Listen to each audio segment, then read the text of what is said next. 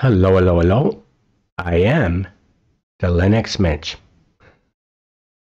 Have you ever been running your Linux distribution on bare metal and the computer freezes up?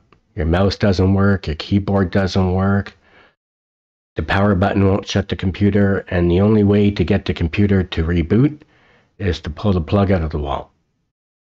Well, there is a way to fix that, and it's not with Control Alt Delete, because Control Alt Delete only works with Windows.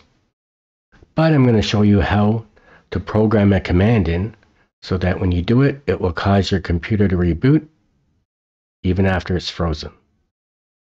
So let's go to it and I'm going to show you how to do it.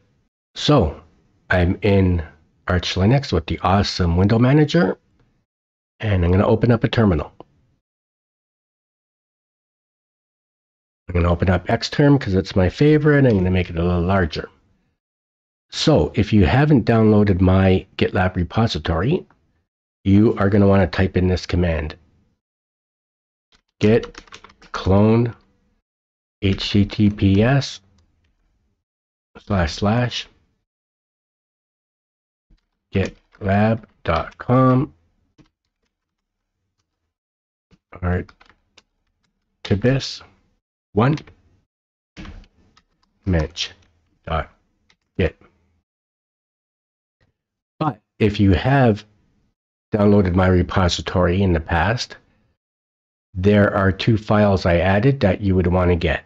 So you wouldn't type in this command. What you would do is cd into your mench directory, because if you already downloaded it, there would be a mench directory in your home folder. So what we're going to do is we're going to type in cd mench, and you're going to type in this command git pull, and that will pull any new files down that are in my repository. And I'm not going to do it because I've already done it. So we're going to go out of there and we're going to cd. Oh, sorry, we've already cd'd. So we're going to ll list of files. And this, this is the file you want here, reisub. So what you want to do is you want to su into root and you want to cat reisub and you want to type in these commands or copy and paste them in. You're going to hit, I'm going to just paste it in. I'm going to paste in this next command.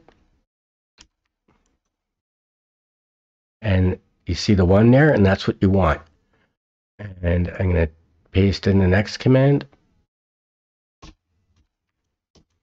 and it's done. Now, if you notice, I didn't copy or paste the first command in, which is exactly the same as the third command.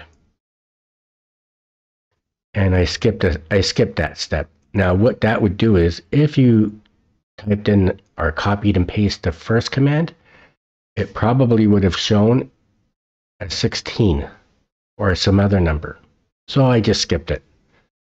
Now, after I typed in the second command or I copied and pasted the second command in. Then I did the cat again. It showed it as a number one. And that's what you want. You want a number one to be in there. And then this last command is to make sure that it still works after you've rebooted your system. So once you typed in these commands, you're going to uh, close the terminal and you're finished. So now the next time your hard drive freezes up. Now, this doesn't apply to uh, virtual machines, but it does apply to your hard drive if you have your Linux distribution installed on bare metal. So the next time the computer freezes up, what you're going to do is you're going to hold the Alt button down and the system rec key. Now the system rec key on most keyboards are near the top,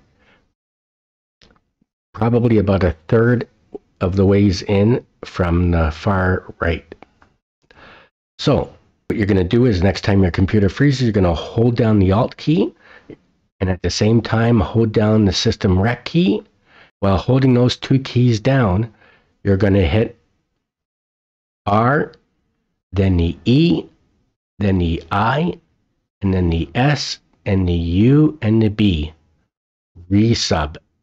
R E I S U B. And that will reboot your system. It will unlock it and reboot it.